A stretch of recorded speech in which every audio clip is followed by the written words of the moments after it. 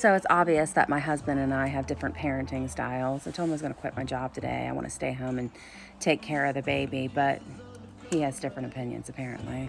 He's 16. Get your ass up and go to work. Some up. Hard work, work. Not another day's of work. Hard work, work. Hard work. That's what they say. Hard work, work. Hard work. I earn my pay. Hard work, work. I get off the rock. I move on down. Hard work, Got work. to go make.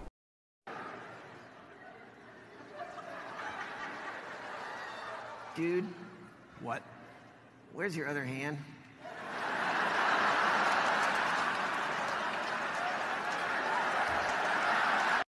When the night has come and the land is dark and the moon is the only light we'll see. You know that saying there are plenty of fishes in the sea? There are.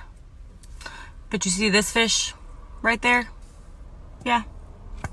That's my fish. Don't fucking touch my fish.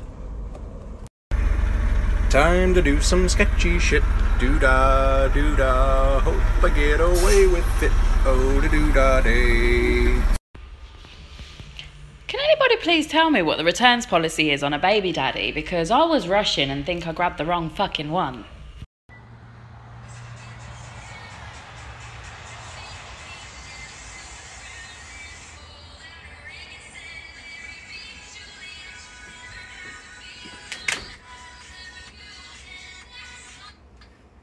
Delete the pictures, delete the number, and accept the lesson and move on. Nighttime and coffee, a table for two. Two trailer park girls go round the outside, round the outside, round the outside. I tried to scream, but my head was underwater.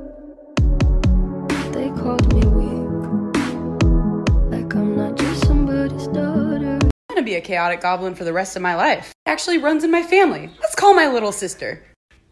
Hello. Hello.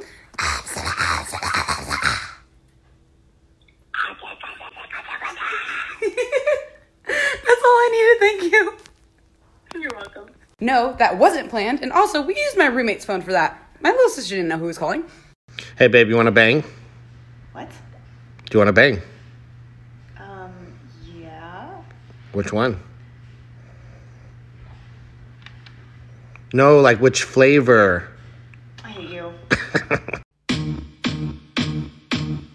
I remember when, I remember, I remember when I lost my mind.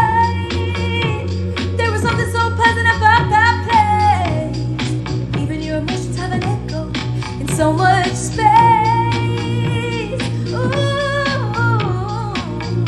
when you're up there, without care. yeah, I was out of.